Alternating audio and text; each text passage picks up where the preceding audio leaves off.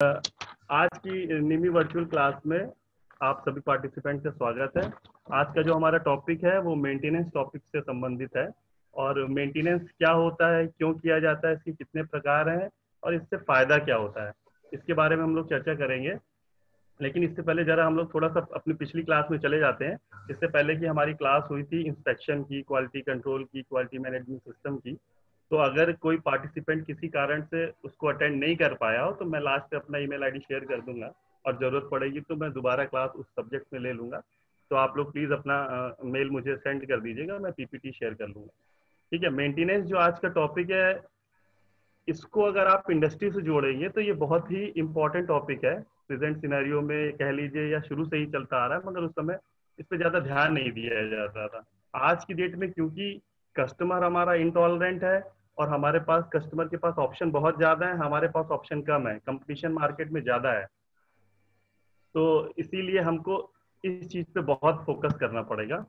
तो इंस्पेक्शन जो हमारा टॉपिक था सबसे पहला वाला क्वालिटी मैनेजमेंट सिस्टम के रिगार्डिंग तो आप जब इंडस्ट्री में काम करते हैं, जब वर्क करते हैं तो आप जो भी काम करें, जितना भी करें, उसको क्वालिटी वर्क में फॉर्म करने के लिए हमको लगातार इंस्पेक्शन की ज़रूरत पड़ेगी। इंस्पेक्शन क्यूसी सेक्शन करता है quality control section quality control section quality assurance section के अंदर अंतर्गत आता है और quality assurance quality management system में आता है। ठीक है? और ये हमारे दो तीन पिलर हैं जैसे क्वालिटी कंट्रोल मेंटेनेंस ये तीन चार पिलर हैं हमारे। किसी इंडस्ट्री को बढ़ाने में, उसको आगे ले जाने में बहुत योगदान करते हैं। और customer satisfaction is our motto यानी कस्टमर हमारा एनी हाउ सेटिस्फाई होना चाहिए किस तरह से। कस्टमर कब सेटिस्फाई होगा हमारा? जब हमारा क्वालिटी प्रोडक्ट उसे मिलेगा। क्वालिटी प्रोडक्ट कब मिलेगा? जब हम प्रॉपर इंस्पेक्शन करेंगे। प्रॉपर इंस्पेक्शन हम तभी कर पाएँगे किसी चीज़ का जब हमारे पास मशीन इंफ्रास्ट्रक्चर जो हमारे पास मौजूद है, वो अपना अच्छा काम करे। तो मेंटेनेंस उस इंडस्ट्री का एक बहुत बड़ा पिलर है, बहुत मज़बूत पिलर है, जो किसी इंडस्ट्री को आगे ले जाने में मदद करता है। सपोज़ करिए आपके पास एक बहुत अच्छी कार आपने खरीदी। दस लाख, पंद्रह लाख की कोई कार आपने खरीद ली। मैं इसको मशीन से जोड़ूँगा। कार कार भी क्योंकि एक मशीन होती है। आपने एक मशीन एक अच्छी कार खरीद ली। अब क्या है, आप मामूली सा उसमें हवा भरवाना, जैसे एक मामूली काम होता है दो तीन रुपए की हवा भर जाती है, आपकी जो एक डेढ़ महीने तक उसका प्रेशर मेंटेन रहता है। आप उस चीज़ पे लगातार ध्यान नहीं दे रहे हैं। तो उस महँगी गाड़ी को खराब होने में समय नहीं लगेगा। क्या है कि आप लगातार उस पर बस काम कर रहे हैं वर्क कर रहे हैं प्रोडक्शन ले रहे हैं, यानी लगातार उसको चला रहे हैं और हवा की ओर ध्यान नहीं दे रहे हैं। तो क्या होगा? धीरे धीरे आपके टायर कमज़ोर पड़ने लगे, उनमें रैशेज आने लगेगा फट जाएँगे या पंचर हो जाएगा। और यही दो तीन रुपए खर्च आप अगर कर दें तो आपकी गाड़ी लगातार अच्छी चलती रहेगी और बात दो तीन रुपए की नहीं आती। इंडस्ट्री लाखों करोड़ों में जब गेम करती है तो बात दो तीन रुपए की नहीं आती है। बात ये आती है कि उसकी प्लानिंग नहीं है। आपके ड्राइवर ने प्लान वे में उसको रूटीन में नहीं लाया है।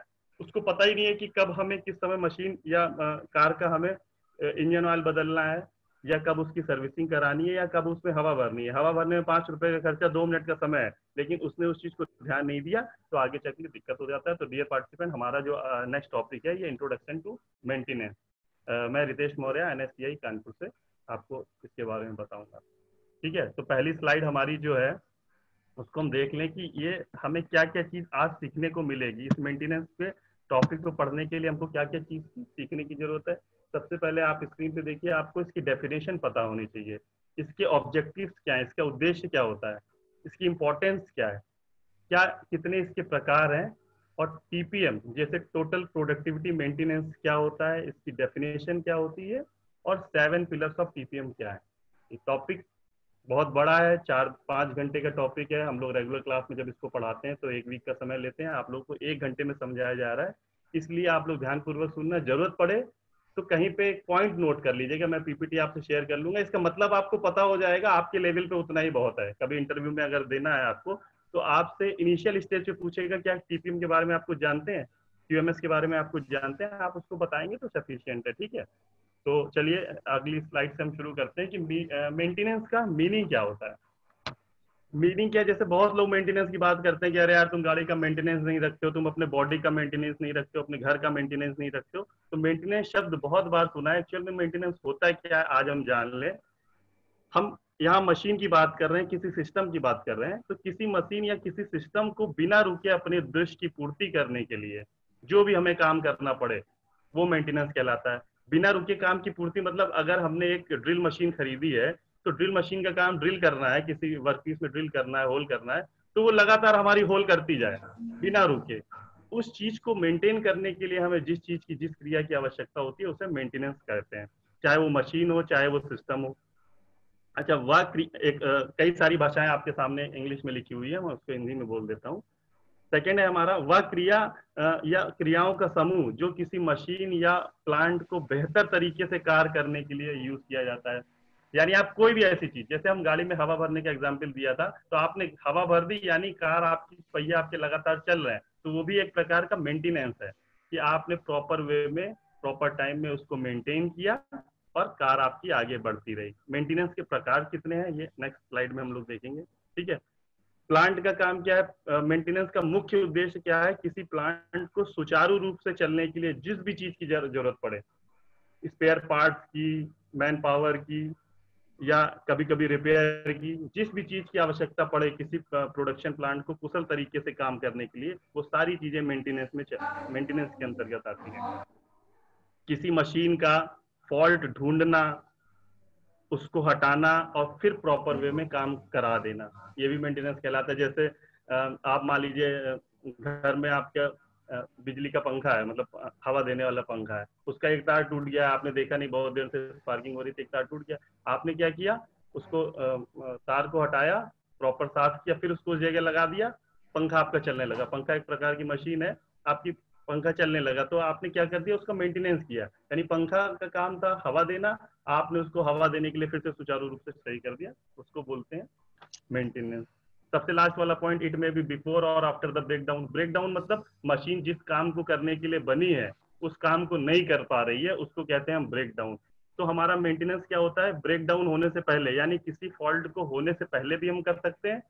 उसकी अलग श्रेणी मेंटेनेंस की होती है, और अगर हम किसी कारण से चूक गए और मशीन हमारी शट डाउन हो गई ब्रेक डाउन हो गई, उसके बाद हम उस काम को कर रहे हैं तो वो भी हमारा ब्रेक डाउन की श्रेणी में जाता है, वो भी हमारा मेंटेनेंस की श्रेणी में जाता है। यानी किसी मशीन पे जब भी हम काम करेंगे, उसके प्रॉपर उद्देश्य की पूर्ति कराने के लिए वो सभी चीज़ें मेंटेनेंस में हमारी जाती है। चलिए नेक्स्ट स्लाइड में देखते हैं।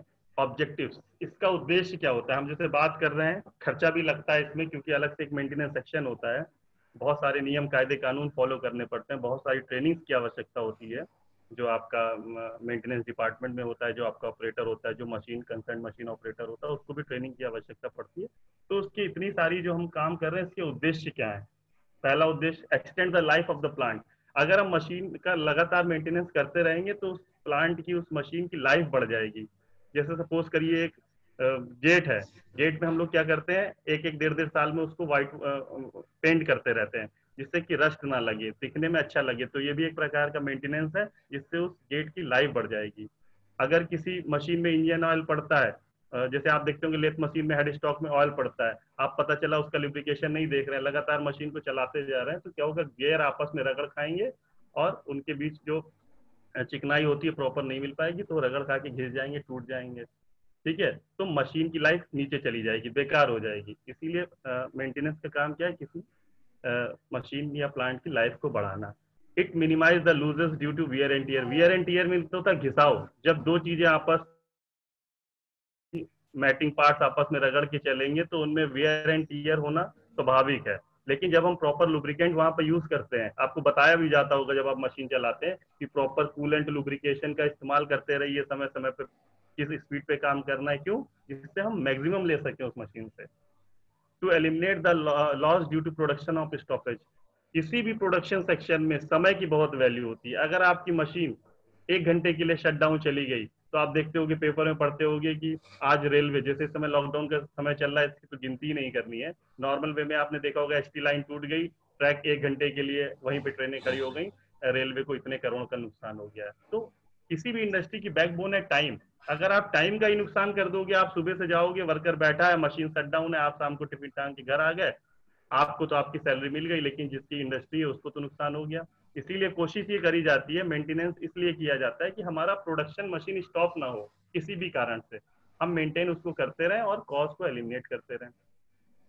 दूसरा, जब आप अच्छे से मशीन पे काम करेंगे, आप प्रोडक्शन देंगे अच्छे से तो आपकी प्रोडक्शन कॉस्ट घटेगी। यानी कि जो प्रोडक्ट आप बना रहे हो मार्केट में सरवाइव करने के लिए आप उस प्रोडक्शन किए हुए पीस को कम दामों में बेच सकते हो, तभी मार्केट में सर्वाइवल हो सकता है।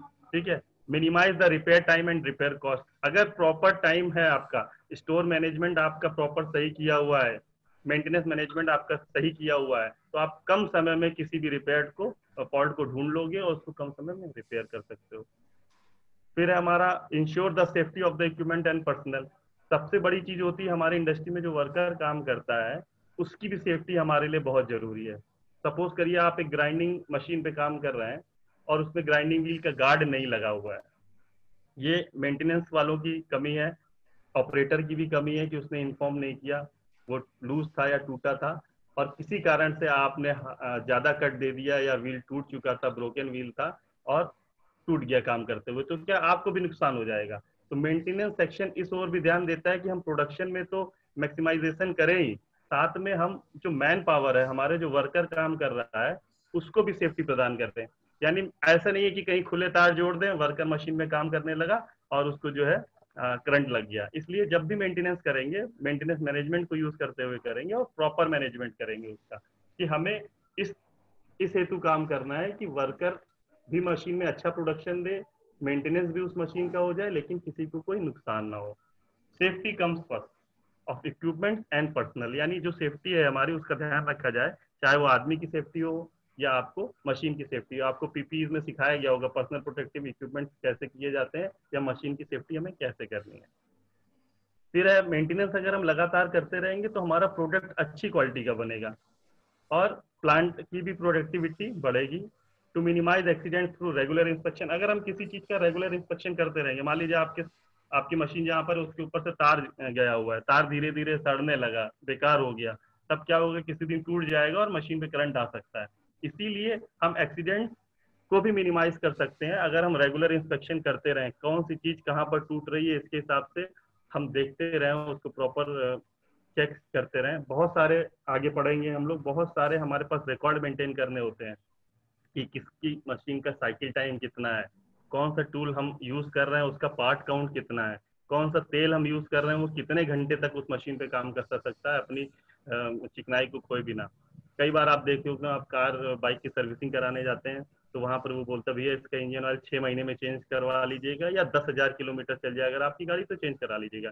इट मीन्स उसमें जो इंजन में इंजन ऑयल पड़ा है, वो इंजन की एफिशिएंसी दस हज़ार किलोमीटर तक उस इंजन के चलते रहने से या छह महीने हो जाए। अगर एक बार इंजन में पड़ गया, सील खुल गई तो यानी छह महीने बाद वो खराब हो सकता है। अब जिस उद्देश्य के लिए उसको वहाँ पर डाला गया है, वो उस उद्देश्य की पूर्ति करने में विफल हो सकता है। इसीलिए ये सब चीज़ों को आपको बना के दिया जाता है किस मेंटेनेंस को कब करना है, आगे हम पढ़ेंगे। To enhance the safety of the manpower सबसे बड़ा हम जब भी कोई काम करते हैं तो हमारा वहाँ पर इंडस्ट्री में जो मैनेजमेंट होता है उसका पूरा ध्यान होता है दो तीन चीज़ों पे। सबसे पहले हमारा वर्कर सेफ़ काम करे, उसको कोई नुकसान नहीं होना चाहिए। दूसरा, हमारा मशीन अच्छे से रहे, उसको कोई नुकसान नहीं होना चाहिए। मशीन और मैन पावर जब तक हमारे पास रहेगी, तब तक हम इंडस्ट्री में अच्छे से सर्वाइव कर सकते हैं। तीसरी चीज़ होती है, हम वर्कर की ट्रेनिंग प्रॉपर कराते रहें इंस्पेक्शन अच्छा करते रहें क्वालिटी प्रोडक्ट बनाएँ क्वालिटी मार्केटिंग करें क्यूएमएस में ये सारी चीज़ आती है। तो हमारा नो डाउट की इंडस्ट्री में पैड बन जाएगी। आप चलिए आते हैं पर्पस क्या है, जो हम मेंटेनेंस करते हैं, उसका पर्पस क्या है? रिड्यूस ब्रेक डाउन जब हम लगातार मेंटेनेंस करते रहेंगे रूटीन मेंटेनेंस प्रिवेंटिव मेंटेनेंस ये इसके पार्ट्स हैं तो हमारा ब्रेक डाउन होने की संभावना ना के बराबर हो जाएगी। कॉस्ट रिडक्शन किसी मशीन को लगातार अगर चलती रहेगी तो ऑटोमेटिक वो लगातार प्रोडक्शन देती रहेगी मेंटेनेंस में नहीं जाएगी शटडाउन या ब्रेकडाउन मेंटेनेंस उसका नहीं होगा तो जो भी हम पीस बनाएँगे, वो कॉस्ट रिडक्शन हो जाएगी, उसकी कम कॉस्ट में बनाएँगे। मैक्सिमाइज मशीन लाइफ किसी मशीन को हम, आपने देखा होगा, आप आसपास अपने नज़र दौड़ाइए, एक किसी ने बाइक खरीदी होगी, मान लीजिए सन 2015 में, और एक दूसरे बंदे ने भी खरीदी होगी 2015 में। एक, कुछ लोग क्या करते हैं बाइक को ऐसे ही चला रहे हैं, बेकार था ना उसकी सर्विसिंग करा रहे हैं, ना साफ़ सफ़ाई पे ध्यान दे रहे हैं। और एक बंदा प्रॉपर साफ़ सफ़ाई मेंटेनेंस उस बाइक को चलाएगा। तो आप पाँच साल बाद देखिएगा, एक की लाइफ पचास साल की लगेगी और एक लगेगा, अरे, ये तो एकदम नहीं है। तो मेंटेनेंस कराने से मशीन की लाइफ भी बढ़ जाती है। मैक्सिमाइज प्रोडक्शन कर सकते हैं। सेफ्टी और मैन पावर के साथ, यानी आप सेफ्टी के साथ अपने जो आपका इंडस्ट्री ऐसे, जो आपका इंडस्ट्री है, वो अच्छे से कर सकता है। आपका मैन पावर को सेफ़ यूज़ कर सकता है। फिर है हमारा इम्पोर्टेंस इसकी इम्पोर्टेंस क्या होती है? महत्व क्या है? सबसे बड़ा महत्व है ये किसी कॉज को फेल्योर होने के कॉज को प्रिडिक्ट करेगा, ढूंढेगा और उसको जड़ से खत्म कर देगा। हम एक एग्ज़ाम्पल दे रहे हैं, मान लीजिए आप लेथ मशीन यूज़ कर रहे हैं और उस लेथ मशीन में वी बेल्ट आपकी लगी है हेड स्टॉक में और वो वी बेल्ट टूटने वाली है। अगर आप उसका रूटीन मेंटेनेंस करेंगे, आप हर पाँच दस दिन में उसको उसकी साइकिल टाइम आपको पता है कि ये वी बेल्ट हमने लगाई है, ये दस हज़ार घंटे चल सकती है और आपको लग रहा है कि हमारे घंटे पूरे होने वाले हैं तो आपने एक बार जस्ट कैजुअली उसको चेक कर लिया तो आपको पता चल जाएगा बेल्ट हमारी टूट रही है।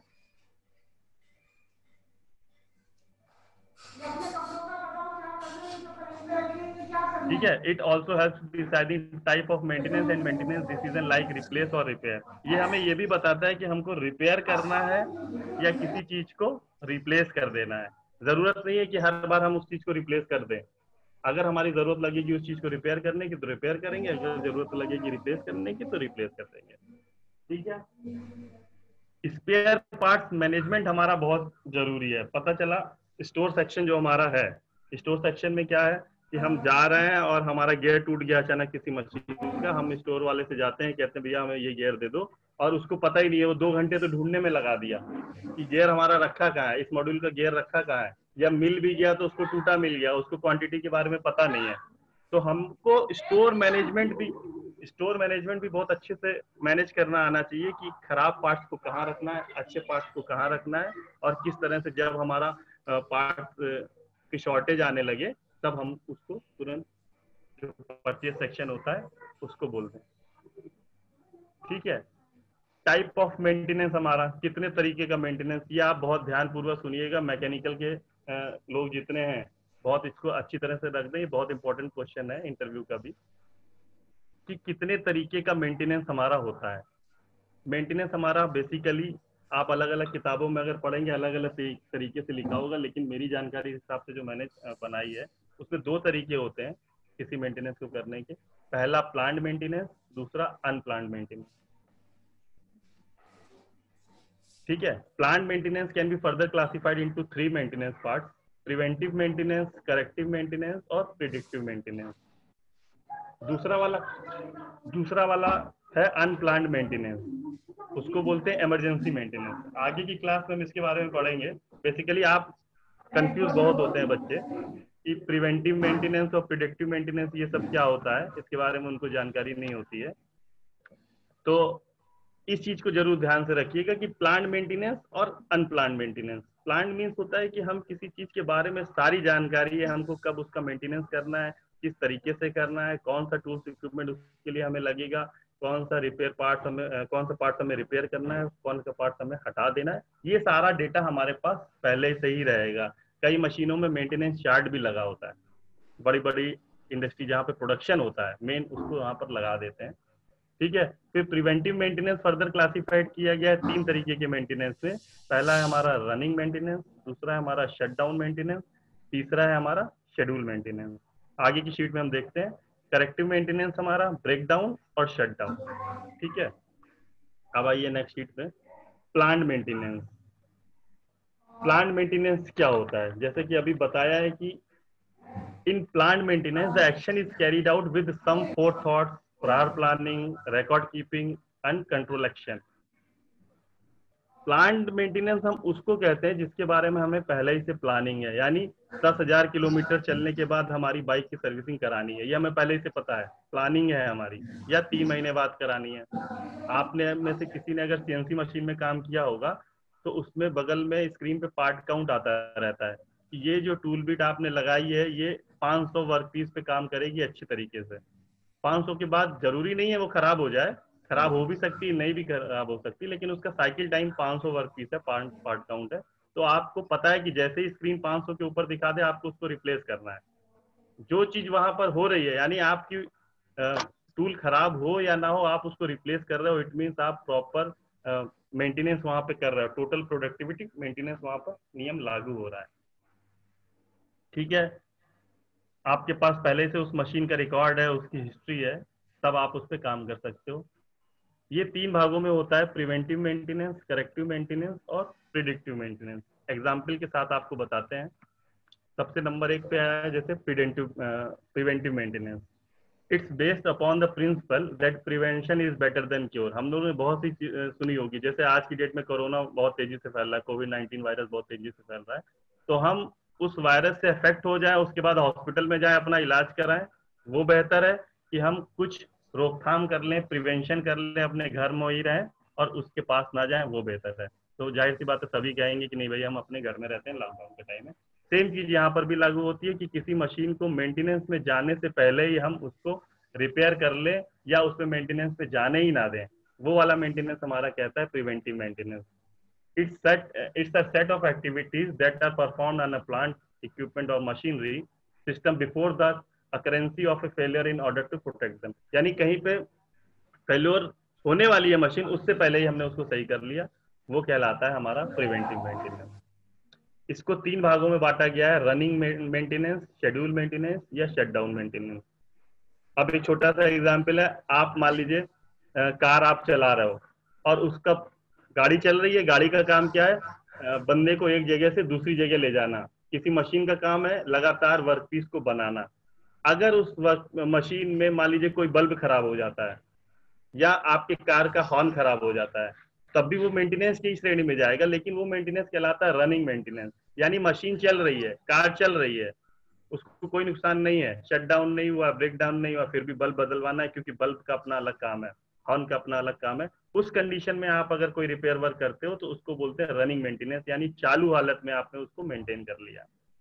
दूसरा है हमारा schedule maintenance schedule maintenance mean schedule है हमारा। यानी एक हज़ार पार्ट काउंट के बाद ये गियर हमें बदल देना है। ये वी बेल्ट हमें बदल देनी है, या फिर लुब्रिकेशन ऑयल हमें बदल देना है। शेड्यूल पहले ही से हमारा तय है, तीन महीने बाद, पाँच हज़ार पीस बाद, जो भी है, जो भी मशीन पे आप काम कर रहे हो, उसके हिसाब से अलग अलग ये होता है। तीसरा है हमारा shut down maintenance shut down मतलब अभी देखिए रनिंग मेंटेनेंस शेड्यूल मेंटेनेंस में ये चीज़ नहीं है। आपका प्रॉपर मशीन वर्क कर रही है, लेकिन उसको मेंटेनेंस चाहिए। शट डाउन मेंटेनेंस में क्या होगा?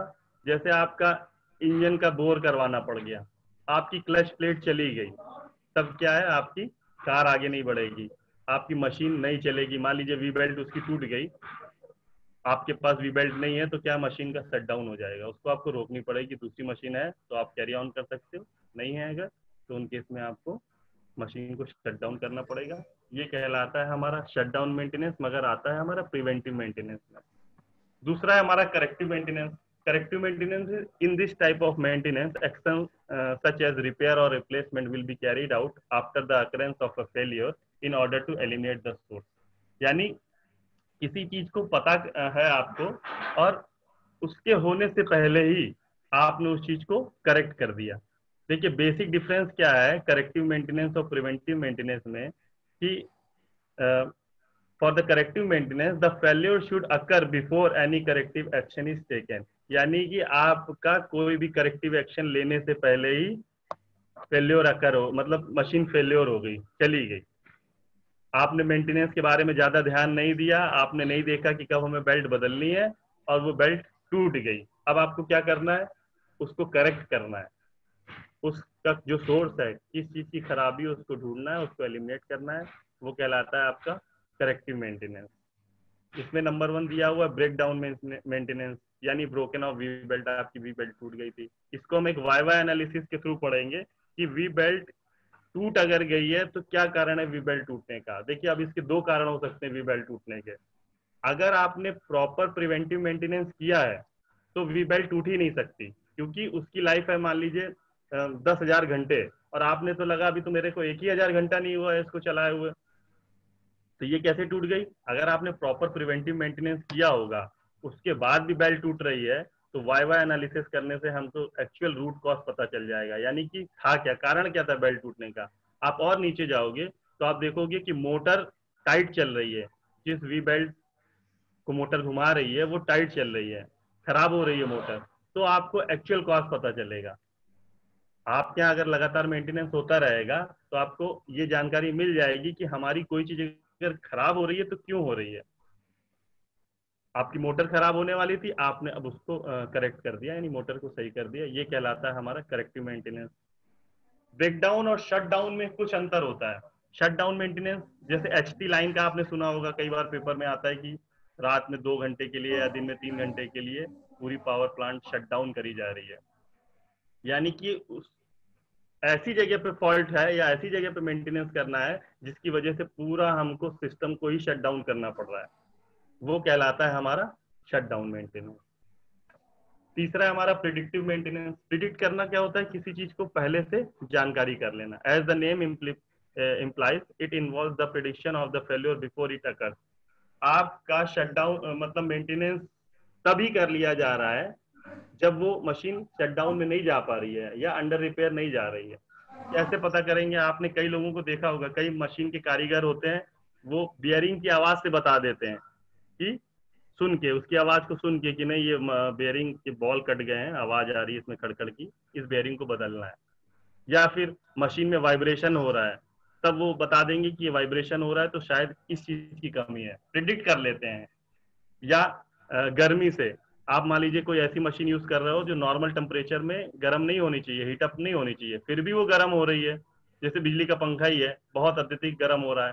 तो आप प्रिडिक्ट कर लेते हो कि ये गर्म हो रहा है, इसका मतलब इसमें कहीं ना कहीं कोई फॉल्ट है, इसकी बेरिंग टाइट चल रही है, या इंजन से धुआँ निकल रहा है, या मशीन बहुत ज़्यादा आवाज़ कर रही है, उस टाइप की जो मेंटेनेंस की श्रेणी होती है हमारी, वो जाती है हमारा प्रिडिक्टिव मेंटेनेंस में, यानी कि हम पंखे को खराब होने से पहले ही सही कर लें प्रिडिक्ट कर लें ड्यू टू थर्मल इमेजिनिंग या फिर वाइब्रेशन इमेजिनिंग या वॉइस इमेजिनिंग बियरिंग की आवाज़ आ रही है। उस सारे मेंटेनेंस हमारे कहलाते हैं? प्रिडिक्टिव मेंटेनेंस ठीक है? उसके बाद हमारा दूसरी श्रेणी थी दोस्तों जो अनप्लान मेंटेनेंस अनप्लान मतलब हमें उस चीज़ के लिए हम तैयार नहीं है, हमारे पास कोई प्लानिंग नहीं है। जैसे आप बाइक चला रहे हैं, कार चला रहे हैं और रास्ते में पंचर हो जाए या टायर बस्ट हो जाए, तब भी आपको मेंटेनेंस की आवश्यकता पड़ेगी ना? रिपेयर की आवश्यकता पड़ेगी, लेकिन वो प्लान नहीं था। आप तो ये कहोगे कि मैं तो समय से हवा भरवा लेता था। समय से मैंने गाड़ी की सर्विसिंग करा ली थी, क्लच वायर टूट गया या ब्रेक वायर टूट गया एक्सीटर वायर टूट गया, या मशीन का ही नॉर्मल मशीन की अगर बात करेंगे बेल्ट टूट गई या गियर टूट गया तो ये दोस्तों कहलाता है अनप्लान मेंटेनेंस यानी अचानक से आपको पता चला रहे ये चीज़ हो गई। तो इस टाइप का मेंटेनेंस हमारा कहलाएगा unplanned maintenance action which is carried out without any forethought कोई आपको पहले से अंदाज़ा नहीं है, कोई आपकी पहले से प्रार प्लानिंग नहीं है, वो मेंटेनेंस हमारा अनप्लान कहलाता है। In this type of maintenance, the maintenance action is executed with the help of all available maintenance resource, possible time without any major time loss. यानी इस टाइप का जो अगर हो गया राह चलते मान लीजिए आपकी गाड़ी खराब हो गई तो आपको अनप्लान था आपको कुछ नहीं पता था जो पॉसिबल रिसोर्सेज है यानी आसपास जो दुकान है उसके पास जो टूल्स इक्विपमेंट है वो उसी को यूज़ करके बनाएगा आपके पास अचानक से कोई मशीन में फॉल्ट आ गया अगर वो अनप्लान मेंटेनेंस की श्रेणी में जा रहा है तो आपके पास जो चीज़ है, जो सामान उस समय है, उसी को आप यूज़ करके उसको कर सकते हो, अन्यथा वो ब्रेकडाउन में चला जाएगा। जैसे इसमें फर्दर क्लासिफाइड किया गया इमरजेंसी मेंटेनेंस जैसे एग्ज़ाम्पल दिया गया है लीकेज ऑफ़ गैस प्लांट कोई गैस प्लांट में लीकेज आ गया अचानक से। अब किसी को नहीं पता था कि लीकेज आने वाला अचानक से लीकेज आ गया। दिन देख रहा, रात नहीं देख रहा, सुबह दोपहर शाम नहीं देख रहा, कोई मौसम नहीं देख रहा लीकेज आ गया। जो बंदा वहाँ पे मेंटेनेंस में अवेलेबल है, जो उसके पास टूल्स इक्विपमेंट अवेलेबल है उसी से उसको उस काम को अंजाम देना है। अगर नहीं दे पाया शॉर्ट टाइम में तो समझ लीजिए मशीन शट डाउन जाएगी या प्लांट शट डाउन में जाएगा। तो किसी इंडस्ट्री का जो सबसे बेकार मेंटेनेंस है, वो कहलाता है अनप्लान मेंटेनेंस यानी किसी को अब कोई जानकारी नहीं कि करना क्या है। अगर स्टोर मैनेजमेंट अच्छा था, उसने अंदाज़ा लगा के रखा था मेंटेनेंस सेक्शन के पास इक्विपमेंट है तो मशीन जल्दी से शट डाउन से उभर जाएगी तो प्रोडक्शन देने लगेगी, नहीं तो लंबे में चली जाएगी। अब आते हैं टीपीएम में। हमारे सात पिलर होते हैं टीपीएम में और बात बात क्वालिटी की हम लोग बात करते हैं क्वालिटी मैनेजमेंट सिस्टम की बात करते हैं टोटल प्रोडक्टिव मेंटेनेंस की बात करते हैं। TPM TQM five S kaizen six sigma seven QC tools quality control quality assurance ये कुछ एक ऐसे वर्ड जापानीज वर्ड हैं ये सब। ये आज की डेट में बहुत ज़रूरी है, क्योंकि मैं बार बार आपसे कहता हूँ कि कस्टमर हमारा बहुत इंटॉलरेंट है, वो जरा सी कमी नहीं बर्दाश्त करता है, क्योंकि उसके पास ऑप्शन बहुत है। मैंने एग्ज़ाम्पल भी दिया था कि आप किसी बैंक में अगर एटीएम से पैसा निकालने जाते हो और वहाँ नोट नहीं निकलता है तो आप क्या कहोगे? अरे यार, बहुत बेकार बैंक है, अब हम दूसरी जगह खाता खुलवा लेंगे। क्योंकि आपके पास ऑप्शन बहुत है, और बैंक के पास ऑप्शन है अपना कस्टमर आपके पास आज बीसियों तरह के बैंक के ऑप्शन है। लेकिन कैसा का नहीं है? मतलब बिजली घर एक ही है, उसका कोई अल्टरनेट आपके पास नहीं है। तो उसमें आप इंटॉलरेंसी नहीं दिखाओगे अपनी। कह दोगे, ठीक है, जब लाइट आएगी तो आएगी। हम भाई कैसा का कनेक्शन बदल ही नहीं सकते। इसलिए जहाँ पर आप देखिए कि इंडस्ट्री में आपके कंपटीटर बढ़ रहे हैं या ज़्यादा हैं, तब आपको ये सारी चीज़ें इंडस्ट्री में सरवाइव करने के लिए प्रोडक्शन टीपीएम टीक्यूएम फाइव ये सारी चीज़ करनी पड़ेगी। फाइव एस बेस है। टीपीएम का बेस है। किसी इंडस्ट्री का बेस है फाइव एस फाइव एस के बारे में जल्दी से बताते हैं। आसपास अपने साफ़ सफ़ाई सुरक्षा रखने को फाइव एस बोलते हैं। ठीक है, इसके बारे में अगर क्लास का शेड्यूल मिल रहा है तो लेंगे। यानी आप अपने आसपास को व्यवस्थित रखिए। जैसे आप अपने क्लास में रहते हो कि टेबल जहाँ पर है चेयर जहाँ पर है, वहीं पे बैठते हो टीचर आपका सामने बैठता है। ठीक है, घर में आप जहाँ पर बिस्तर लगा है, जहाँ पर अपनी कॉपी किताबें रखते हो, सब प्लांट वे में रखते हो। जिससे ज़रूरत पड़ने पे तुरंत वो चीज़ मिल जाए साफ़ सुथरी रहे। जिस चीज़ की ज़रूरत नहीं है, उस चीज़ को स्टोर रूम में रख देते हो। आम भाषा में आप यही कहोगे कि आसपास सुव्यवस्थित बनाए रखना, ज़रूरी चीज़ों को पास में रखना। गैर ज़रूरी चीज़ों को हटा देना, ये फाइव एस कहलाता है। और टीपीएम का हमारा बेस है फाइव एस पहले आपको फाइव एस के बारे में जानकारी ज़रूरी है, तब आप टीपीएम के बारे में जानकारी लोगे। टीपीएम का जन्म कहाँ हुआ था? सब चीज़ का जन्म जापान से हुआ था। जितनी चीज़ें हम बात करेंगे क्वालिटी से रिलेटेड वो सब जापानीज बहुत करते हैं। इसीलिए क्वालिटी प्रोडक्ट वो देते हैं, भले ही कॉस्ट उसकी ज़्यादा हो, लेकिन हमेशा आप टोयोटा का आइटम देख लीजिए होंडा का आइटम देख लीजिए, मशीनरी या जापानीज टेक्नोलॉजी देख लीजिए। वो क्या है वर्ल्ड वार के बाद से इतना आगे आए और उन्होंने ये चीज़ जानी है जापानीज ने कि कभी भी आपको अगर सरवाइव करना है इंडस्ट्री में मार्केट में तो आपको क्वालिटी मेंटेन करनी पड़ेगी। एक बार में ना सही, दो बार में ना सही, दस बार में ना सही, लेकिन जब आप क्वालिटी प्रोडक्ट बनाओगे तो एक बार जुड़ा हुआ कस्टमर आपसे लगातार जुड़ा रहेगा। होंडा एक्टिवा देखिए, दुनिया में जितनी गाड़ी इंडिया के अंदर चल रही है स्कूटरेट के मामले में होंडा एक्टिवा बेजोड़ है। उसने क्वालिटी से समझौता ही नहीं किया। रेट चाहे जितना बढ़ता जाए, लेकिन होंडा एक्टिवा बहुत बिक रही है। ठीक है? It's a lean approach to increase production rate and reduce production cost PPM जिस इंडस्ट्री में इस्तेमाल होगा टोटल प्रोडक्टिविटी मेंटेनेंस जहाँ पर इस्तेमाल होगा, वहाँ ऑटोमेटिक प्रोडक्शन कॉस्ट कम होगी और प्रोडक्शन रेट बढ़ेगा। प्रोडक्शन रेट मतलब उत्पादन दर बढ़ेगी और प्रोडक्शन कॉस्ट घटेगी। टीपीएम होता क्या है? टोटल प्रोडक्टिविटी मेंटेनेंस जो हम बात कर रहे हैं क्लोज सिस्टम है, एक साझा किया हुआ सिस्टम है प्रोडक्शन का प्लस क्वालिटी का प्लस मेंटेनेंस का। यानी किसी इंडस्ट्री को आगे बढ़ाने के लिए ये तीन पिलर काम करेंगे। प्रोडक्शन सेक्शन क्वालिटी सेक्शन और मेंटेनेंस सेक्शन अगर ये तीन में से एक ने भी अपना हाथ पीछे कर दिया या सही प्रॉपर काम नहीं किया, पता चला आप क्वालिटी तो मेंटेन की हो। मेंटेनेंस भी अच्छा दे रहे हो, लेकिन प्रोडक्शन सेक्शन इतने कम वर्क पीस बना के दे रहा है कि इसकी कॉस्ट इतनी ज़्यादा आ जा रही है कि आप सर्वाइव नहीं कर पा रहे हो। या प्रोडक्शन सेक्शन क्वालिटी में सामान बना रहा है, मेंटेनेंस ही नहीं हो रहा है मशीन का पता चला। एक पीस बना सुबह से शाम तक, मशीन ब्रेकडाउन में चलेगी लेकिन बहुत अच्छा वर्क पीस बना तो भी कोई मतलब नहीं है। ओवरऑल मैं ये कहना चाहूँगा बस कि तीनों का समावेश है TPM production plus quality plus maintenance M क्या है? The aim is to hold emergency and unscheduled, uh, unscheduled maintenance to a minimum. यानी कि अगर हम पीपीएम अपने यहाँ लागू कर रहे हैं तो उसका मेन उद्देश्य है कि हम मेंटेनेंस को कम करें मशीन का वेयर एंड टीयर कम करें। इसी से हमारी मशीन की लाइफ बढ़ेगी और एमरजेंसी जो हमारा ब्रेकडाउन वगैरह करना पड़ रहा है या मशीन को होल्ड करना पड़ रहा है वो कम से कम हमें करना पड़ेगा। इसके चार प्रिंसिपल होते हैं। उसको समावेश करके हमने बताया total productive maintenance is a system of maintaining and improving the integrity of the production safety quality system through the machine equipment process employees that add business values to organization यानी जो productive maintenance का एक system है, वो maintain करता है production section safety quality system के through machine के थ्रू इक्विपमेंट और प्रोसेस के थ्रू जितनी आपके पास मैक्सिमम पॉसिबिलिटीज बनती है किसी मशीन को, किसी रिसोर्स को, किसी मैन पावर को यूज़ करने के लिए उन सबके इस्तेमाल के साथ हम अपने ऑर्गेनाइजेशन की बिज़नेस वैल्यू को ऐड करें, बढ़ाएँ। ये है हमारा मेन प्रिंसिपल अब बात करते हैं कि सात प्रिंसिपल जो हैं, हमारे सेवन क्यूसी टूल्स में भी मैंने आपको बताया था, कई सारी चीज़ें आपके इंटरव्यू के लिए बहुत महत्वपूर्ण है। Pareto chart why why analysis scatter diagram और भी बहुत सारी चीज़ें थी। तो उसी तरह हमारे सेवन पिलर हैं पीपीएम के। अब इसके बारे में चलिए हम लोग जान लेते हैं। सबसे पहले तो आपको मैं एक चीज़ बताऊँ, जब भी आपने भी देखा होगा, आपने में से बहुत लोगों ने किसी इंडस्ट्री में काम किया है तो वर्कर जो है वहाँ पे वर्कर क्या सोचता है कि मेंटेनेंस मेरा काम नहीं है मेंटेनेंस तो मेंटेनेंस सेक्शन का काम है। हम क्यों मेंटेनेंस करें? हम क्यों उस चीज़ को करें? लेकिन जहाँ पर टोटल एम्प्लॉय इन्वॉल्वमेंट होता है। यानी कि वर्कर को भी हर काम दिया जाता है, सभी ट्रेनिंग से जोड़ा जाता है। वहाँ का वर्कर ये चीज़ नहीं कहता। नॉर्मल किसी इंडस्ट्री का वर्कर क्या कहता है, मैं साफ़ सफ़ाई नहीं करूँगा। मैं टेक्नीशियन हूँ, मैं लेथ मशीन चलाता हूँ या सीएनसी मशीन चलाता हूँ, मैं इसी को कपड़ा नहीं मारूँगा। कपड़ा मारने के लिए अलग से आप लाइए। ठीक है? तो वहाँ दिक्कत क्या होगी? पता चला कहीं से ऑयल लीकेज कर रहा है। जब आप अपनी मशीन को एक चक्कर मशीन को ऑन करते समय चार, उसके चारों तरफ़ घूम लेंगे, तब आपको पता चलेगा ठीक है, क्योंकि किसी प्रोडक्शन सेक्शन में एक मशीन एक के हाथ में नहीं होती है।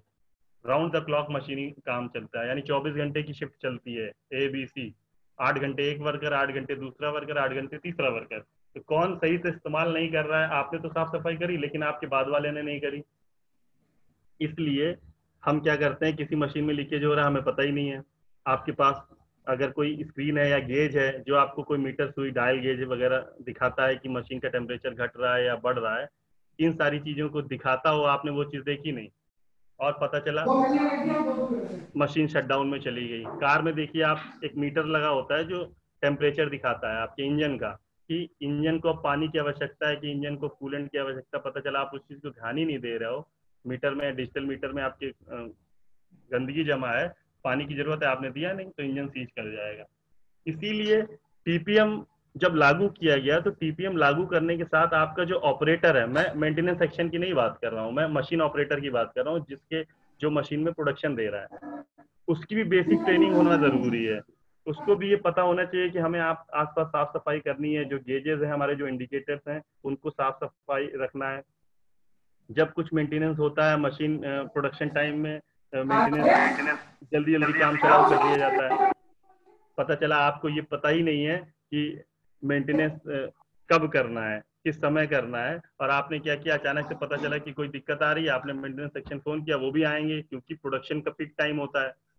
मार्च का महीना जनवरी से मार्च का महीना उस बीच आपने पता चला कोई फॉल्ट आई तो मेंटेनेंस सेक्शन वाले काम चलाओ मेंटेनेंस करके चला जाएँगे। अच्छे से उसको नहीं करेंगे।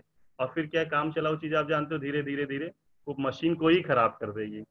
इसीलिए जहाँ पर टीपीएम लागू होता है, वहाँ पर हर वर्कर को ये ट्रेनिंग दी जाती है कि आपको आसपास कैसे साफ़ सफ़ाई रखनी है। हल्की फुल्की चीज़ें जैसे मशीन में कटर बदलना है टूल बदलना है, या टूल की डेप्थ कम या ज़्यादा करनी है, इसके बारे में भी आपको पता होना चाहिए। इंजन ऑयल कितने घंटे चल गया, कितना पार्ट काउंट हो गया, ये सब तो कोई कोई नॉर्मल टेक्नीशियन या वर्कर भी कर सकता है, बस उसको प्रॉयर ट्रेनिंग की आवश्यकता होती है। यहीं से जन्म होता है हमारा टीपीएम का कि इस टीपीएम में क्या होगा कि आपको सारी ट्रेनिंग दी जाएगी। किस तरह से आपको, जिस मशीन को चलाना है, उसका फ़र्स्ट एड आप बोल सकते हो कि जैसे डॉक्टर मेन तो डॉक्टर आपको ट्रीट करता है। कोई बंदा अगर बीमार है तो डॉक्टर ट्रीट करता है, लेकिन जब तक डॉक्टर नहीं आ रहा है, तब तक तो आप फ़र्स्ट एड की ट्रेनिंग अगर आपने ली हुई है तो आप ज़िंदा रख सकते हो उस आदमी को। सेम काम होता है टीपीएम में। अगर आपने टीपीएम ज्वाइन किया हुआ है टीपीएम की ट्रेनिंग ली हुई है तो उस मशीन पे जिसपे आप काम करते हो, अगर मेंटेनेंस आने की संभावना हो रही है तो जब तक मेंटेनेंस टीम आएगी, तब तक आप उसको मेंटेन करके चलोगे। कोशिश करोगे कि उसकी आवश्यकता ना पड़े। ठीक है? तो पीपीएम का जन्म इसी उससे हुआ है। हमारे सात पिलर सामने आपकी स्क्रीन पे दिख रहे हैं। पहला इक्विपमेंट लाइफ हिस्ट्री यानी कि आप जिस मशीन या इक्विपमेंट को यूज़ कर रहे हो, उसके डेटाबेस की पूरी जानकारी आपको होनी चाहिए। ठीक है? कोई अंधी चुक्की नहीं चलेगी। डेटाबेस मतलब वही चीज़ हो गई कि आप मान लीजिए वी बेल्ट उसमें अगर लगी है तो आपके पास चार्ट होना चाहिए कि किस तारीख को कितने बजे हमने इसको बदला और उसके बाद इस मशीन को हमने कितने घंटे चलाया या कितना जॉब इस पे बना दिया। ये हमारा कहलाता है इक्विपमेंट लाइफ हिस्ट्री जिसमें हमारा कोई गैसवर्क नहीं चलता। हम पार्ट काउंट हमें पता होना चाहिए वॉट एंड वेन कब मशीन में हमने डाला था, किस, कितने पार्ट बन गए, ये एम्प्लॉय को इसके बारे में जानकारी होनी चाहिए। सेकेंड है हमारा प्रोसेस स्टैंडर्डाइजेशन प्रोसेस स्टैंडर्डाइजेशन मतलब होता है जिस भी प्रोसेस को हमने करना है मेंटेनेंस के लिए, वो सारा प्रोसेस हमें पता होना चाहिए। कई बार आपने देखा होगा कोई मशीन होती है, वो दूसरी जगह से उसका नेटबोर्ड लगा है, तब जाके वो गेयर बाहर निकलता है और हम क्या उसको निकाल ही नहीं रहे उसके प्रोसेस के बारे में नहीं पता है, हम बहुत टाइम लगा रहे हैं। इसलिए हमारे पास की पैरामीटर सारे होने चाहिए कि उस मशीन को कहाँ से खोलना है, कहाँ से उसका मेंटेनेंस करना है। Set point for each maintenance यानी जो भी आप उसमें मेंटेनेंस कर रहे हो, उसके बारे में पॉइंट्स हैं, उसके बारे में डिटेल ट्रेनिंग आपने ली हुई है। आपको उस मशीन पार्ट्स के बारे में डिटेल जानकारी होनी चाहिए, तभी आप उसमें हाथ डालेंगे।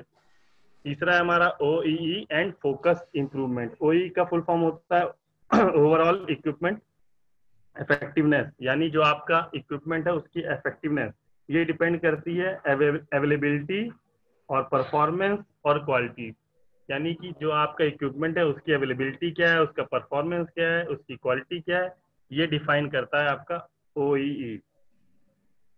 ठीक? उसके बाद है हमारा प्लांट मेंटेनेंस प्लांट मीन्स आपके पास प्लानिंग कैसी है? अब मैं आपको एक एग्जांपल देता हूँ।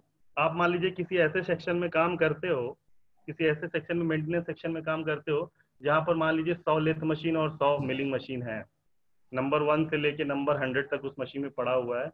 और ऐसा नहीं होगा कि आप आज बहुत घर से खुश आए, आपने आज पंद्रह मशीनों का मेंटेनेंस कर दिया रूटीन मेंटेनेंस पंद्रह मशीनों का। कल आपका मन नहीं किया, आपने दो का किया, परसों किया ही नहीं।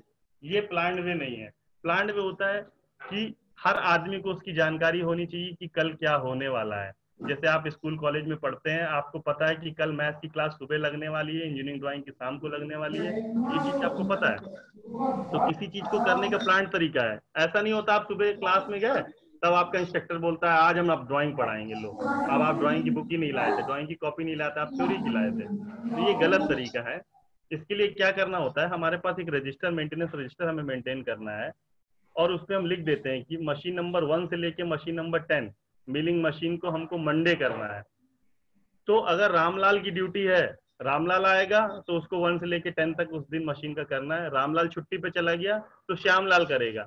जो भी आएगा, वो उस काम को करेगा ही करेगा। ये होता प्लांट मेंटेनेंस ये किसी व्यक्ति विशेष पे निर्भर नहीं करता। ये टाइम और डेटा प्लांट पे निर्भर करता है। यानी आपका प्लांट वे है तो उस मशीन का मेंटेनेंस मंडे को होगा ही होगा। ट्यूजडे को लेथ मशीन है उस सेक्शन में। तीसरे में वेडनेसडे को ग्राइंडिंग मशीन है। यानी कोई आए या ना आए, आपका काम नहीं रुकना चाहिए। किसी को किसी से पूछना नहीं है कि आज बुधवार है, आज क्या काम करें। आप जाइए मेंटेन रजिस्टर उठाइए और उस पर अपना उस काम को करिए और सारा डेटा उसमें भर दीजिए। किस मशीन को टाइमिंग बेल्ट आपने कब बदली वी बेल्ट आपने कब बदली गियर आपने कब बदला कूलेंट लुब्रिकेशन आपने कब बदला, इस सब की प्लानिंग सबका रजिस्टर आपको मेंटेन करना है। आपके पास सारी डिटेल होनी चाहिए। तब आप कह सकते हो कि हाँ हमारा जो मेंटेनेंस वो प्लान मेंटेनेंस है। दूसरा है हमारा क्लीनिंग मैनेजमेंट क्लीनिंग मैनेजमेंट बहुत छोटा सा शब्द है, लेकिन बहुत मायने रखता है। फाइव एस पूरे का पूरा एक टॉपिक ही क्लीनिंग मैनेजमेंट के आधार पे है। यानी आसपास आप अपने साफ़ सफ़ाई को मेंटेन करिए। हर इक्विपमेंट जिसको जैसे रहना है टूल्स के साथ पता चला आप इक्विपमेंट मिला दे रहे हो। आपका जो प्रिसीजन इंस्ट्रूमेंट है, उसको आप टूल्स के साथ ऐसे ही एरर आ जाएगी, उसमें दिक्कत आ जाएगी। ब्लंट हो जाएगा टूल खराब हो जाएगा, आपके पार्ट्स खराब हो जाएँगे। साफ़ सफ़ाई रखने का उद्देश्य होता है जब आपको समय से जिस चीज़ की आवश्यकता हो, आप अपना कॉपी किताब उस जगह रखते हो कपड़े एक जगह रखते हो ये नहीं आपस में मिला के रख दो, जब ज़रूरत पड़े तो मिले ही ना। इसको कहते हैं हम क्लीनिंग मैनेजमेंट तीसरा छठवा है हमारा स्पेयर पार्ट मैनेजमेंट अभी हमने पहले भी बताया था स्पेयर पार्ट मैनेजमेंट बहुत बड़ा बहुत बड़ा एक अहम भूमिका निभाता है कि कब किस इसको स्पेयर पार्ट मैनेजमेंट मतलब है कि आपको पता है कि हमारे पास दस लेथ मशीन चलती है और इनमें एवरेज 500 लीटर कूलेंट ऑयल लग जाता है एक महीने में। तो आपको कम से कम पंद्रह दिन का स्टॉक पहले से ही रखना है। आपको लगता है कि हमारे यहाँ इतनी टूल बिट लग जाती है एक महीने के अंदर तो कम से कम पंद्रह दिन का स्टॉक एक हफ़्ते का स्टॉक आपको मेंटेन रखना है। ऐसा नहीं है कि जिस चीज़ की आपको पूरे महीने ज़रूरत ही नहीं पड़ती है, उस चीज़ का तो आप स्टॉक करके रखे हो। और जिस चीज़ की आपको हर दिन ज़रूरत पड़ती है, उसका स्टॉक नहीं है तो ये अच्छा स्पेयर पार्ट मैनेजमेंट या स्टोर मैनेजमेंट नहीं कहलाता है। आपको प्रॉपर तरीके से आपकी इंडस्ट्री में कितना सामान की ज़रूरत है, उस हिसाब से अपने स्टॉक को मेंटेन करिए। खराब पार्ट अलग रखिए, अच्छे पार्ट अच्छी साफ़ जगह रखिए, जिससे ज़रूरत पड़ने पे ब्रेकडाउन या शटडाउन के समय आपको तुरंत उस चीज़ को अवेलेबल कराओ। और इन सब का समावेश करते हुए जो इम्प्लीमेंटेशन किया जाता है, वो हमारा कहलाता है इम्प्लीमेंटेशन दूसरी चीज़ है कि जो हमारा टीपीएम है, इसमें जो मशीन ऑपरेटर है, इसकी ट्रेनिंग करना बहुत आवश्यक आवश्यक होता है। जब बढ़िया तरीके से वो ट्रेनिंग करेगा, अच्छे तरीके से वो काम करेगा, तभी सिस्टम को जान पाएगा। इंग्लिश की नॉलेज भी उसको होनी चाहिए टेक्निकल नॉलेज भी उसकी होनी चाहिए बेसिक स्किल उसकी डेवलप होनी चाहिए इंटरपर्सनल स्किल उसके अंदर अच्छी होनी चाहिए, यानी प्रॉपर वे में उसकी अगर ट्रेनिंग होती रहेगी हर चीज़ की, तभी हम कह सकते हैं हमने पूरी तरह से टीपीएम को लागू किया। फिर है हमारा वाई टीपीएम क्योंकि हम टीपीएम को क्यों अपने यहाँ लागू करें? क्या ज़रूरत है हमें इस चीज़ को करने की? हमारा तो ऐसे ही काम चल रहा है। तो जब जिस इंडस्ट्री में हम टीपीएम को लागू करेंगे, वहाँ ये सारे फ़ायदे जो आपकी स्क्रीन पर हैं, ये आपको देखने मिलेंगे। Avoid wastage in quickly changing economic environment आजकल का जो एनवायरमेंट है क्विक चेंज एनवायरमेंट इसमें हम वेस्टेज को कम कर सकते हैं। वेस्टेज कम कैसे होगा? अगर आप प्रॉपर तरीके से टूल्स का इस्तेमाल करेंगे मशीन का इस्तेमाल करेंगे, स्क्रैप नहीं होगा तो हमारा वेस्टेज भी नहीं होगा। Producing goods without reducing product quality आप जो आइटम बना रहे हो गुड्स मीन्स प्रोडक्ट जो आप प्रोडक्ट बना रहे हो, उसकी क्वालिटी को कम किए बिना आप प्रोडक्शन को बढ़ा सकते हो। क्योंकि जितना प्रोडक्शन दे रहे हो, अगर आप दस पीस बना रहे हो, उस दस में दसों सही है तो आप प्रोडक्ट की दर बढ़ा रहे हो क्वालिटी की दर अच्छी बढ़ा रहे हो। Reduce product cost product cost कैसे कम होगी? आप मान लीजिए एक लाख रुपए का रॉ मटेरियल लेके आते हो, उस एक लाख रुपए से आपने सौ पीस बनाए, और उन सौ में निन्यानवे पीस आपके एकदम ओके हैं एज पर ड्राइंग एकदम सही है मार्केट में जाने लायक हैं।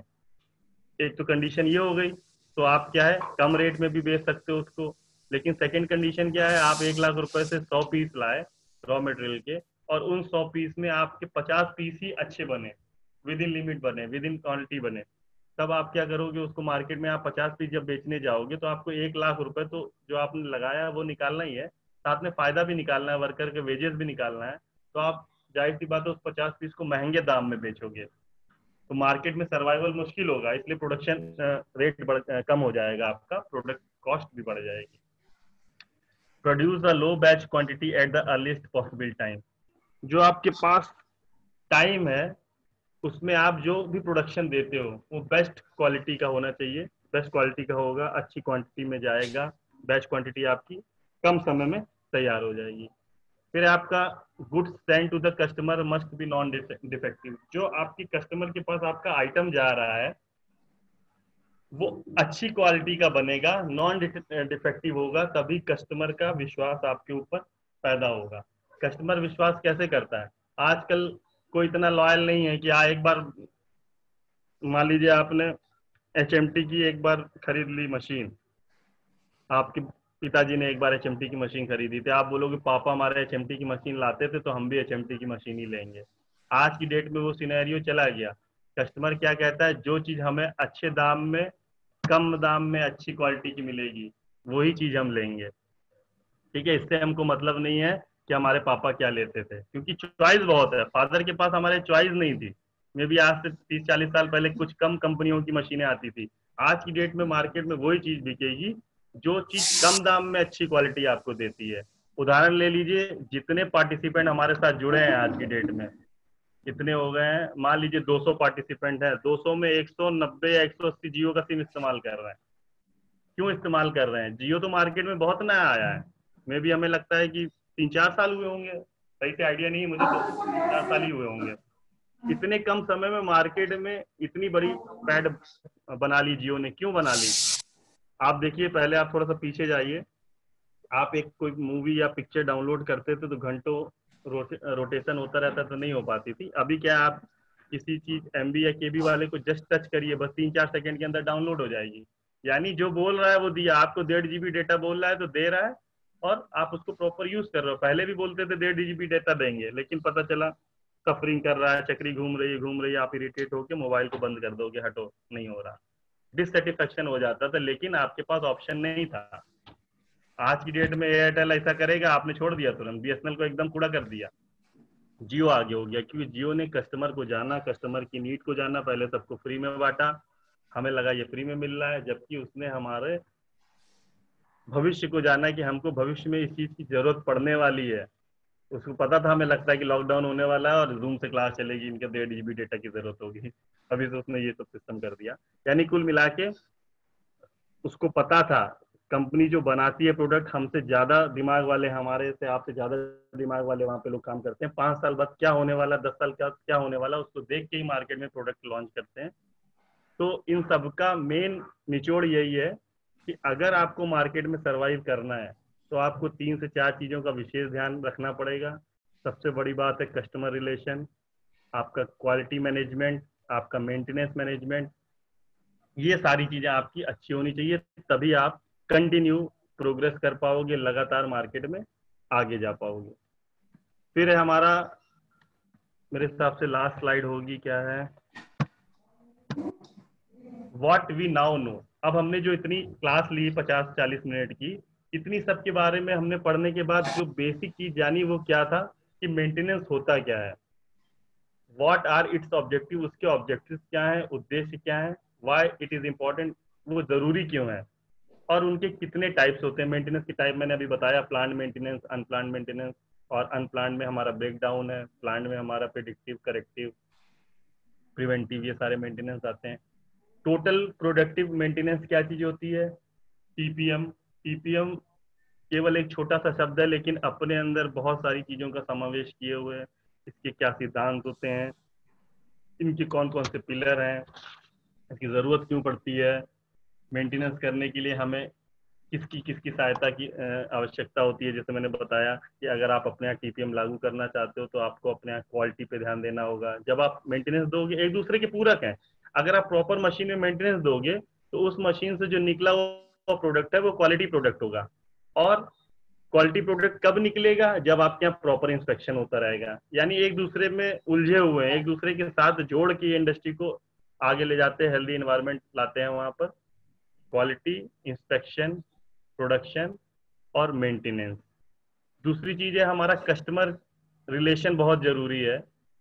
कस्टमर रिलेशन तब काम में आता है जब आफ्टर सेल सर्विस की ज़रूरत होती है। कोई कंपनी मान लीजिए आपको पार्ट बना के बेच रही है, आप फास्टैग की घड़ी खरीद रहे हो तो आप कंपनी को नहीं जानते हो कि फास्टैग कंपनी किसकी है, कौन वहाँ पे बना रहा है, हमसे कोई मतलब नहीं। आप एक शॉप से उस घड़ी को खरीद के लाते हो और ज़्यादातर तो यही होता है क्वालिटी प्रोडक्ट जो है, वहाँ कमी नहीं निकलेगी। लेकिन इन केस अगर कमी निकलती है तो आपका उस कमी को तुरंत एलिमिनेट कर दिया जाए, तुरंत दूर कर दिया जाए। आप उस कंपनी के सर्विस सेंटर जाते हो, वहाँ पे आपको बहुत अच्छे से आपसे बात करी जाती है कि सॉरी सर हमसे कोई गलती हो गई है तो असुविधा के लिए खेद है, आप इसको हमको दे दीजिए, हम इसको सही करके एक घंटे बाद या एक दिन बाद आपको दे देंगे। तो ये इसको कहते हैं कस्टमर रिलेशन मैनेजर दूसरा होता है, आप टोल फ्री नंबर पे फ़ोन लगा रहे हो, वहाँ पे कोई फ़ोन नहीं उठा रहा, आप कंपनी से एड्रेस लेके उस सर्विस सेंटर जा रहे हो, वहाँ पे ताला लगा है। तो क्या है, आप डिससेटिस्फाइड हो जाओगे और कहोगे, ठीक है, ये बहुत बेकार चीज़ है, हम अगली बार से इस घड़ी को नहीं लेंगे या इस मशीन को नहीं लेंगे। ये कहलाता है हमारा आफ्टर सेल सर्विस क्या है, या कस्टमर रिलेशन कैसे हैं कंपनी के कस्टमर के साथ। तभी क्या आता है माउथ पब्लिसिटी भी आप करते हो कि नहीं भाई, घड़ी बहुत अच्छी है, और हम इसको आगे भी कहते हैं।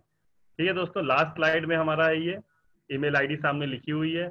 अभी तक की मेरी जितनी क्लास इंस्पेक्शन क्यूएमएस क्वालिटी और क्यूए से संबंधित है, आज हमारा टीपीएम से संबंधित थी अगर आपको कोई डाउट लगे तो आप पूछ सकते हो। अभी मैं चैट बॉक्स खोल लेता हूँ देखें कोई डाउट है अगर किसी का दूसरी चीज़ मैं आपको शेयर कर दूँगा इसकी स्लाइड तो करेक्टिव और प्रिवेंटिव मेंटेनेंस उत्कर्ष शांडिल जी ने पूछा है, ये चलिए मैं स्लाइड पे ज़्यादा दोबारा जाता हूँ। अभी क्योंकि पाँच मिनट समय बचा हुआ है।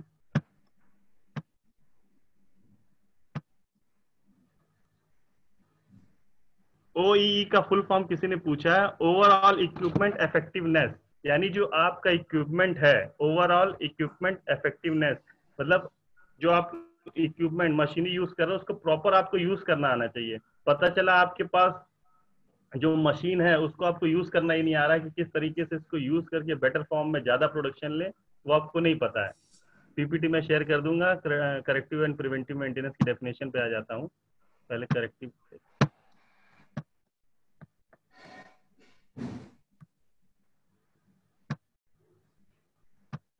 देखिए करेक्टिव मेंटेनेंस सामने लिखा है करेक्टिव मेंटेनेंस वो मेंटेनेंस कहलाता है कि मशीन के break down action as repair और replacement will be carried out after the occurrence of failure यानी आपका टायर अगर पंचर हो गया या बस्ट हो गया या मशीन ब्रेकडाउन में चली गई तो उसको सही करने के लिए जो आप मेंटेनेंस यूज़ करते हो, वो करेक्टिव कहलाता है। नाम में ही लिखा हो करेक्टिव मीन्स किसी चीज़ को सही करना। आप पहले तो कोशिश करो प्लांट मेंटेनेंस वे में कि हमसे गलती ना हो। लेकिन इन केस अगर गलती होती है तो उसको सुधारना, उसको करेक्ट करने के लिए जो मेंटेनेंस किया जाता है, वो हमारा करेक्टिव मेंटेनेंस कहलाता है। यानी ब्रेक डाउन हो गया, गाड़ी का गियर टूट गया, अब हमें उस गियर को बदलना है, वो मेंटेनेंस कहलाता है हमारा करेक्टिव मेंटेनेंस और प्रिडिक्टिव मेंटेनेंस वो होता है कि हम प्रिडिक्ट कर लें। जैसे मैंने अभी थर्मल वाला एग्ज़ाम्पल आपको दिया था, हम छू के आभास कर लेते हैं कि मशीन गर्म हो रही है, इसके अंदर यानी कोई गड़बड़ है। अब हम उसको क्या करेंगे? बेयरिंग चेक करेंगे। ऑयल चेक करेंगे घर्षण चेक करेंगे पंखे से आवाज़ आ रही है बेयरिंग चेक करेंगे। तो प्रिवेंट करना। किसी चीज़ को पहले से ही एज्यूम कर लेना वो कहलाता है हमारा प्रिडिक्टिव मेंटेनेंस और प्रिवेंटिव मतलब अगर घटना घट गई उसके बाद हम उसको under control situation under control में लाने के लिए जो काम करेंगे वो हमारा कहलाता है प्रिवेंटिव मेंटेनेंस फिर है जापान भाषा में सात मेंटेनेंस कौन से हैं? बेटा ये सात मेंटेनेंस नहीं है। जापानीज भाषा में सात हिंदी में इंग्लिश में कन्वर्जन किया वो सात पिलर हैं। मेंटेनेंस तो दो ही प्रकार का होता है बेसिकली अनप्लांट और प्लांट ये सभी ट्रेड के लिए इंपॉर्टेंट है, हर ट्रेड के लिए इसको यूज़ किया जाता है। थैंक यू उज्जवल भौमिक जी बहुत बहुत धन्यवाद। आपकी मेल भी हमें अक्सर मिलती रहती है। हौसला अफजाई करने के लिए बहुत बहुत धन्यवाद। ठीक है दोस्तों तो नेक्स्ट टॉपिक जो भी हमारा होगा, उसके बारे में आप निमी की साइट पे जाते रहिए। अगर टाइम मिला तो फाइव या सिक्स सिग्मा के बारे में आपको बताऊँगा और अगर हमारे डायरेक्टर साहब की तरफ़ से कोई गाइडलाइन आई तो अगली क्लास हम टेक्निकल क्लास में लेंगे। ठीक है? मैं निमी का बहुत बहुत धन्यवाद देना चाहता हूँ कि हमें एक ऐसा प्लेटफॉर्म दिया और अभी आप सभी पार्टिसिपेंट्स को भी बहुत बहुत धन्यवाद कि अपना अमूल्य समय देके इस लॉकडाउन के समय में हमारी क्लास को सुना thank you Nimi. Thank you participant कोई क्वेश्चन हो तो जब तक पारुल मैम से संपर्क नहीं हो पा रहा है, आप लोग अपना पूछ सकते हैं, क्योंकि एक दो मिनट अभी विशेष है।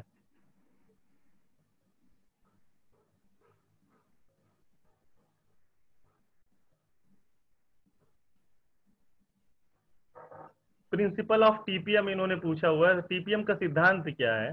टीपीएम का सिद्धांत बेटा ये है कि आप किसी भी जगह पे जब आप काम कर रहे हो तो आप वहाँ पर क्वालिटी प्रोडक्ट देना हमारा उद्देश्य होता है। जिस भी इंडस्ट्री में हम काम करते हैं, वहाँ पर बेहतर तरीके से हम इस्तेमाल करें अपनी मैन पावर का, अपनी मशीन का, उसी को हम टीपीएम प्रिंसिपल बोलते हैं। सामने आपकी स्क्रीन पे दिख रहा है total productive maintenance is a system of maintaining and improving the integrity of the production यानी कि एक सिस्टम बना हुआ है, जो आपको लगातार सतत प्रोडक्शन को आगे बढ़ाने में, किसी मैन पावर किसी मशीन किसी इक्विपमेंट को लगातार उस ऑर्गेनाइजेशन के उत्थान के लिए यूज़ करने में सहायता दे रहा है, वो हमारा प्रिंसिपल होता है टीपीएम का। ठीक है?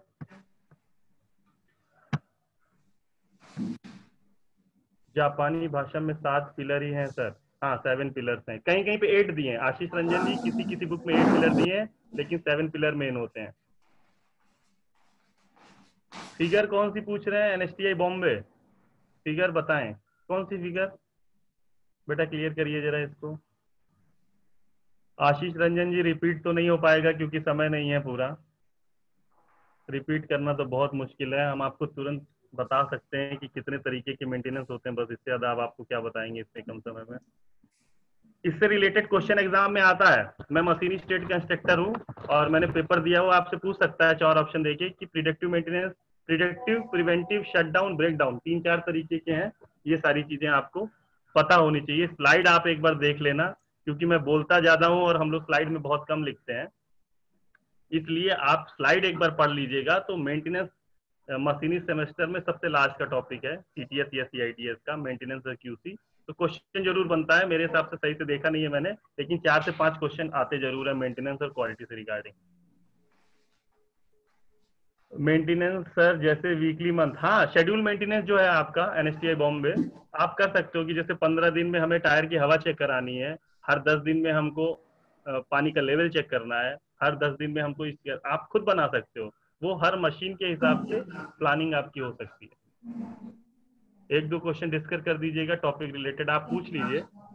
अंकित सचान जी, क्या चीज़ आपको नहीं समझ में आई है? फुल फॉर्म भी पूछा जाता है कि ट्यूक्यूएम का फुल फॉर्म क्या है? ये भी पूछ लिया जाता है। ठीक है, निमी बहुत बहुत धन्यवाद।